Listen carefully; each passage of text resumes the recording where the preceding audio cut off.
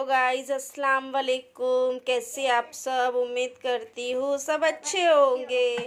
तो आज मैं फिर आई हूँ नई रेसिपी के साथ तो मैं क्या बनाने वाली हूँ? कितनी सारी कोतमीर ना?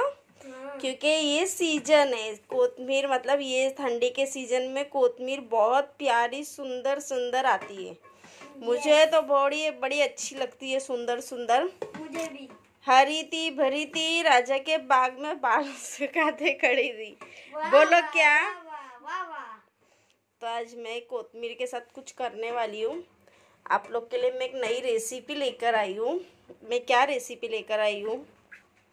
तो मैं आपके लिए लेकर आई हूँ नई रेसिपी कोतमीर वड़ी। कोतमीर की मैं वड़ी बनाने वाली हूँ। मैंने इसको भाजी के साइज़ की लाई थी मतलब बड़ी चूड़ी लाई थी अच्छी। मैंने इसको अच्छे से तोड़ ली हूँ पत्ते पत्ते जो भी चाहिए इसमें से कौली कौली हरी हरी भाजी मतलब मैंने ले ली हूँ कोतमीर अभी मैं इसको अच्छे से धो लूँगी, धो के इसका पानी, इसको रख लूँगी, पानी छान लूँगी इसका। इसमें ज़रा भी वड़ी में, ज़रा भी मेरे को पानी नहीं चाहिए, एकदम पानी निथार लेंगे इसका, आधा पौना घंटा निथारने के लिए रख लेंगे तो चलो। आप लोग भी ज़रूर देखना मैं कैसे बनाती हूँ और आप लोग भी ज़रूर ट्राई करना। और आपने मेरे चैनल को अभी सब्सक्राइब नहीं किया है तो तुरंत जाके सब्सक्राइब करो लाइक करो मेरी वीडियो को ज़्यादा से ज़्यादा शेयर करो। तो देखिए कोतमीर मेरी धुल चुकी है। अभी मैं इसको निखारने के लिए रखूँगी छन्नी में। पूरा पानी निकाल लेंगे पानी ज़रा भी नहीं रखेंगे। तो देखिए मेरी सारी कोतमीर धुल चुकी है। तो चलो इधर मैं थोड़ी दस बारह को हरी मिर्ची ली उसको मैं चॉप कर लूँगी चॉपर की मदद से चॉप कर ली हूँ। कोतमीर को बारीक बारीक काट ली हूँ मैं। अच्छे से काट लेना है बारीक बारीक अभी मैं उसके अंदर ऐड करूँगी दो वाटी भर के चने का आटा। मीडियम साइज़ की वाटी उससे डालूँगी और ये मेरे पास थोड़ा चावल का आटा ये भी डाल दूँगी एक वाटी। थोड़ा सा गेहूँ का आटा मिलाऊँगी। और इधर चॉप में हरी मिर्ची डाल दी और नमक डाल देंगे स्वाद अनुसार। दो चम्मच भर के धनिया पाउडर डाल देंगे, एक चम्मच भर के हल्दी पाउडर, एक ज़ीरा पाउडर डाल देंगे, एक चम्मच, डेढ़ चम्मच मिर्ची पाउडर डाल देंगे, डेढ़ चम्मच अदरक लहसुन का पेस्ट डाल देंगे। अच्छे से हाथों की मदद से इसको गूंद लेंगे, एक डो बना लेंगे। पानी एक्स्ट्रा नहीं डालना है, वही कोतमीर के अंदर ही मैश करना है। अच्छे से तो देखो इधर मेरा डो बन चुका है। अभी मैं इसके अंदर ऑयल डाल के वापस इसको अच्छे से मैश कर लूँगी। एक डो बना लूँगी वापस से। तो देखिए, इधर मेरा डो बन चुका है, माशाल्लाह। गैस के ऊपर पानी रख देंगे अभी। इसको साइड में रख देते हैं। गैस के ऊपर मैंने पानी रख दी थी बॉईल हो रहा है। उसके ऊपर मैं छन्नी रख दूँगी स्टीम के लिए। उसके ऊपर थोड़ा सा तेल लगा लेंगे। परात में थोड़ा सा तेल डाल देंगे, एक डो बना लेंगे। जो शेप देना है वो दे सकते तो मैं इधर रख दूँगी स्टीम करने, एक और ले लूँगी।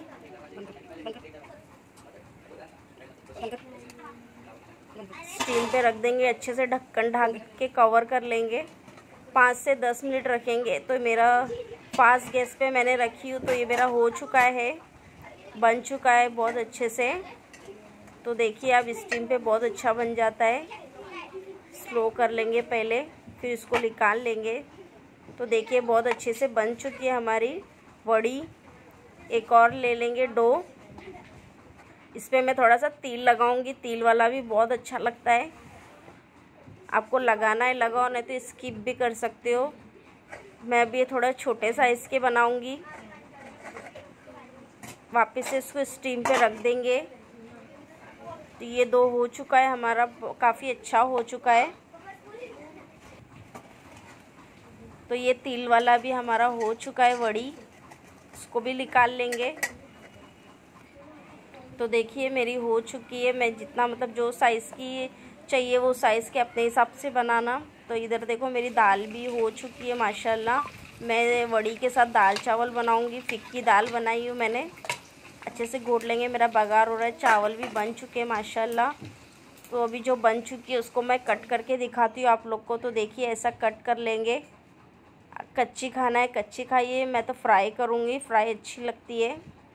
मस्त है देखो कितनी अच्छे से इसके पीसेस हो रहे हैं।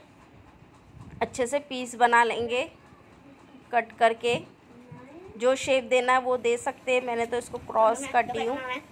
एक तवा ले लेंगे। उसमें एक चम्मच मैंने तेल डाल दी हूँ। अच्छे से फैला लेंगे तेल को। वड़ी को फ्राई कर लेंगे। ये वही मेरी तिल वाली जो मैंने तिल डाली थी। चलो, दाल भी हो चुकी है। अभी मैं इसमें फ्राई करूँगी। हल्का हल्का ब्राउन कर लेंगे। ज़्यादा डीप फ्राई नहीं करेंगे, शैलो फ्राई करेंगे। बहुत खाने में टेस्टी लगती है, फटाफट बन जाती है। सीज़न के हिसाब से बनाइए आप लोग भी। कोतमीर अभी बहुत अच्छी आ रही है मार्केट में। तो ये मेरा तिल वाला जो मैंने जिस पे तिल लगाई थी, ये है। इसको भी अच्छे से सेक लेंगे।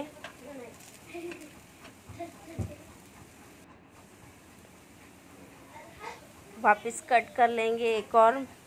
कट करते जा रही हूँ और मैं फ्राई करते जा रही हूँ तो देखिए वापस कट कर ली हूँ मैंने। तो इधर मेरा ऑलरेडी और रखा हुआ है। मेरे को भी सब फ्राई करना है, क्योंकि कच्ची भी अच्छी लगती है, ऐसे ही स्टीम वाली। और फ्राई करेंगे तो एकदम क्रिस्पी हो जाती है। तो इधर मेरा हो चुका है। माशाल्लाह सबको पसंद आई थी, बहुत अच्छी बनी थी। दुआ में याद रखना। अल्लाह हाफिज़। आप लोग भी ज़रूर बनाना। बहुत अच्छी बनती है कोतमीर वड़ी।